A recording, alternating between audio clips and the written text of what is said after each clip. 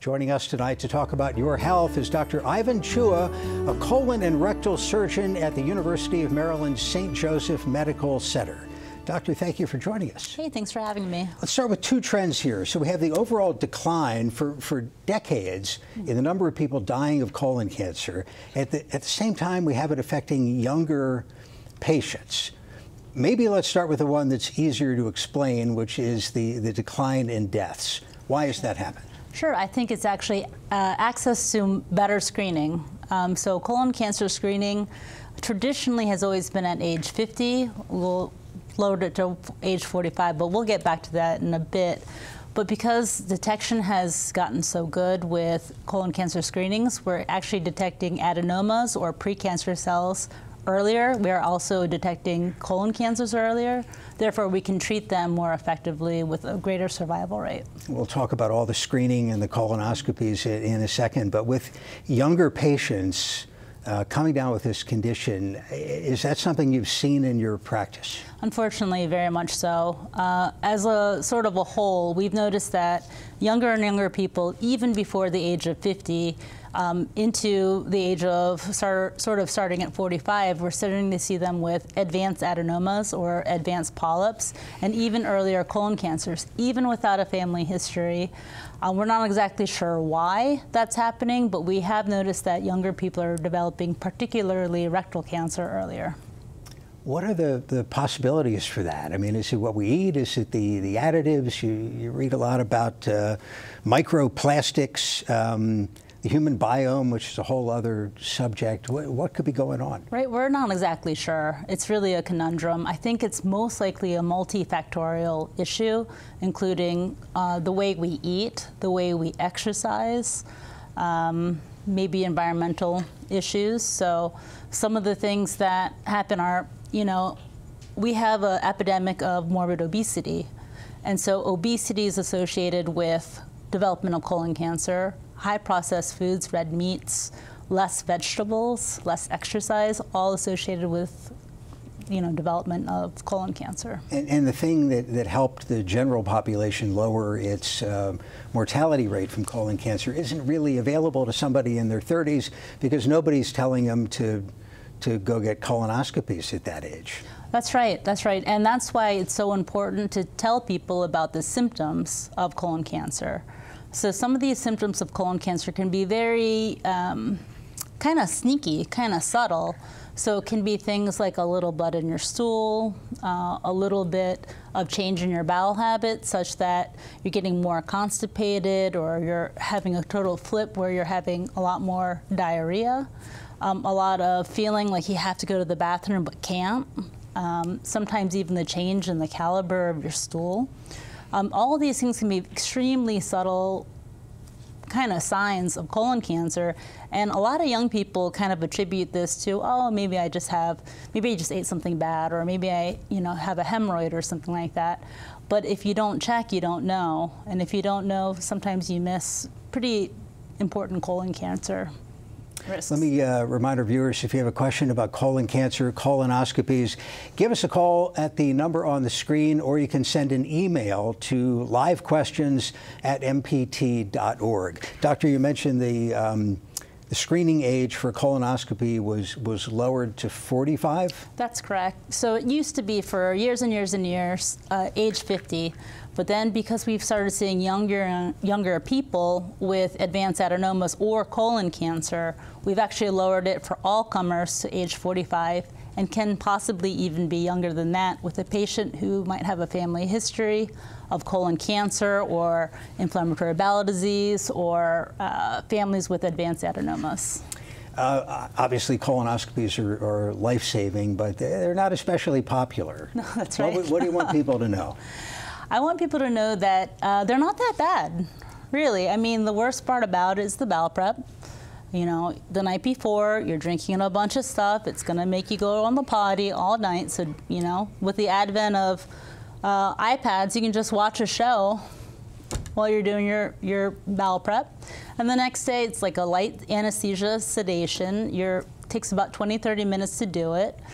Um, we look at nice clean colon of yours. If we see any polyps, we go ahead and take them out. Not every polyp or also known as like a growth inside of the colon, turns into cancer. But that's where cancers come from. So the idea is if you can take out those polyps at the time of colonoscopy, you can actually prevent them to, from turning into cancer in the future. Now, I watched a lot of college basketball this weekend, oh, yeah. and I saw multiple ads for the, the home screening, Cologuard mm -hmm. or, or something like that. Absolutely. Pros and cons of that. Pro, pro, you do not have to do a bowel prep. Uh, you do not have to go under anesthesia. Uh, it is not a procedure, so it's a very safe screening. Um, Cologuard and tests like that look for abnormal DNA that's already been shed into your stool. So you go to the bathroom, you send it away to a special place, and they look to see if there's any abnormal DNA. What it can miss is it can miss those little polyps um, because they haven't turned into cancer yet. So left into place, they could potentially turn into cancer. With Cologuard, if you have a positive col Cologuard test or DNA stool test. I think I know what, what happens next. You need a colonoscopy. Right. Yeah. So in my opinion, any screening is better than no screening at all. Um, just remember with Cologuard, the only time you can use it is if you don't have any high risk. So no blood in your stool, no high risk family history, no inflammatory bowel disease. If you have any of those things, you're not really an appropriate candidate for Cologuard. And you have to do it every three years. Let's take a phone call. Richard in Montgomery County. Richard, thank you for calling. Go ahead. Yes, I was wondering do all intestinal polyps or, or stomach or rectal uh, polyps turn into cancer? And how long does that take for them to transfer? Good question. Cancer? Thank you, sir. That's a great question, Richard. Thanks for calling in. Not every polyp turns into cancer, so you can have polyps that are what we call tubular adenomas or precancerous cells. Those have the potential of turning into cancer, but not everyone turns into it. We find that as polyps get bigger and bigger and bigger, they have a more potential of turning into a cancer. So the idea is if you can get them out when they're small and easy to get out with a scope, that can help prevent cancer in the future. Um, in terms of uh, stomach and uh, stomach or intestinal polyps, much the same. And they say that sort of overall, it can take a polyp on average seven years before it has the potential of turning into cancer. So that if you've ever had polyps on your colonoscopy before, they usually see every, you know, three to five years. Um, not, they don't let you get to that 10 year mark. I read something about a, uh, a new blood test in the in the pipeline. How, where is that in the pipeline? It's pretty new. Uh, there was just an article in the New, new England Journal of Medicine about it. Um, it is also looking at DNA coming from a cancer cell, basically, that's floating in the bloodstream. One of the things is um, it's not FDA regulated yet. It's not FDA approved, and it's not covered by insurance yet. So is that something in the future? Absolutely. Is that something that we're all looking forward to? Absolutely. But right now it's so new and we're not exactly sure. If, if somebody is, uh, is found to have colon cancer, what does the treatment look like today? The surgical treatment, the, the medical treatment? Sure, sure. So anytime you have that diagnosis of colon cancer, you go through some tests, blood tests, CT scans, all to do what's called staging to see if this cancer has basically spread, um, or does it look contained? If it looks contained or early, then ultimately you go through resection. And that's where my job comes in. I do resection both by laparoscopic, which is little cuts and cameras, robotic, again, small cuts and cameras, or sometimes even a traditional open surgery. Everything to do to remove that cancer, the surrounding tissues, and all the lymph nodes to see if there's any cancer in those lymph nodes, which may, may end up requiring chemotherapy in the future. A viewer has a question about colonoscopy prep. Sure. Uh, this is from Mark. I read about a colonoscopy prep that allowed some amount of solid food instead of clear liquids. Um, any comment about that? Um, the idea of the whole thing is to get rid of the solid food. That's correct. I usually am okay with people having a very light breakfast before their bowel prep the day before. And then once they start the bowel prep, I really do prefer that people only drink clear liquids because you're not trying to make stool new stool. You want to clear everything out because ultimately, if you have a poor bowel prep, we may not be able to see those little polyps and take them out. And so sometimes people with bad bowel prep tend to need colonoscopies a little sooner than the, the 10 years. All right, here's a viewer question about uh, what I believe is called a digital rectal exam that it does not involve. Uh, it's not. It's not like a digital clock digits. Put it that way. Uh, Scott writes, my my doctor doesn't perform a manual check of my colon when I have my annual physical. Um, she checks the PSA level only. Um, So, how often does does that exam um, turn up something that would require a colon and rectal surgery? Well, I mean, they're see. they're when when a, a general doctor, an internist does Mm-hmm. that, they're not looking for colon cancer.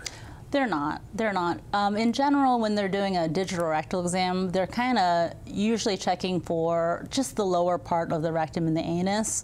So the colon itself is five, six feet long, and all you're seeing is sort of that lower last little bit uh, of the colon and rectum. So that can identify things like anal cancer or rectal cancer, but can't really see if there's any colon cancer in the way. The other thing is they can see if there's actually gross blood, and that would be a sign for, to get a colonoscopy. Uh, phone call from Washington D.C. This is Mm-hmm. Andrea. Thank you for calling. Go ahead. Hi, I would please like to know, as a colon prep cleanser vo- versus the traditional liquid solution, can you use Linzess along with Miralax as a colon cleanser prior to having a colonoscopy? Thank you for the phone call. Thank you, Andrea. Uh, so Linzess is a very special medication used for chronic constipation.